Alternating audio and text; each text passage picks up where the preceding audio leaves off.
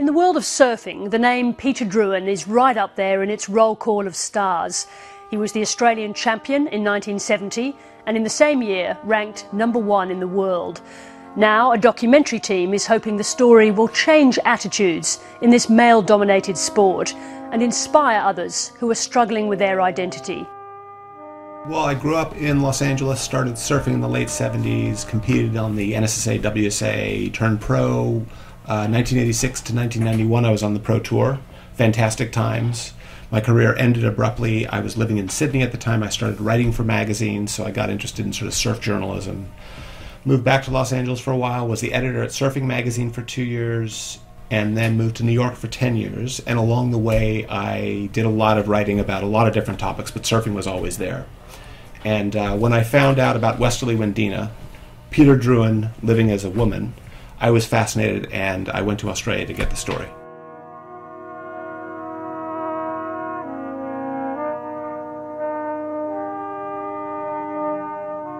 I first encountered him. He put on something called the Super Challenge in 1984. He called out Mark Richards, who was then the four time world champion. At the time, Peter Drouyn was, I think, 35. He was past his surfing prime. It was much like, I think he was kind of drawing from Muhammad Ali and George Foreman's Rumble in the Jungle. It was this idea of this massive show one on one and all this drama. And he'd taken out an ad in a magazine and he was naked. He had only underwear on and he had ketchup slathered all over him and he was standing in a kind of crucified position. And, and there were all these uh, taunts on the page, you know, I will kill or be killed. I'm going to prove to you that I'm the master of the surfboard. And I thought this guy's fantastic.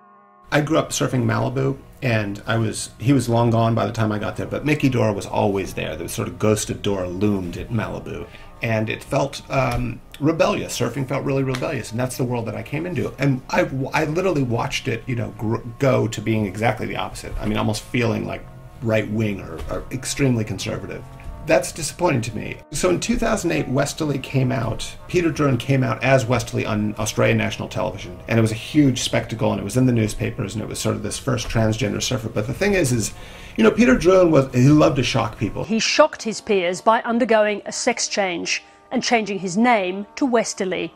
Most people thought, oh, this is yet this is maybe just a little bit of a charade, and and this is temporary, and this is maybe a way a publicity stunt, and you know, this isn't real.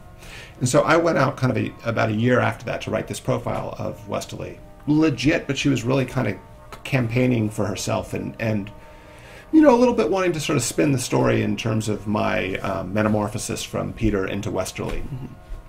And again, I sort of started fact checking and, and, and of course, getting um, quotes from Peter Drouyn's peers. Arguably, at that time, Drouyn was the best Australian in the world. He just had this smile and warmth he was the epitome of an Australian male surfing hero.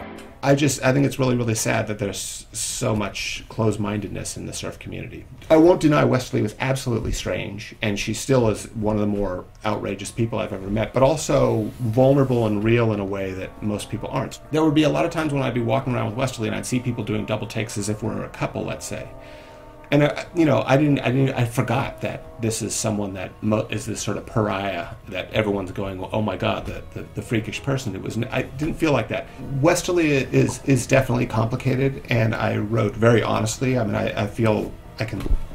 I feel I did the best I could. I mean, everyone's version of the truth will vary. I could look myself in the mirror and say I did this honestly. This is how this thing went, and this is how, what I felt along the way, and this is sort of how I perceived it all.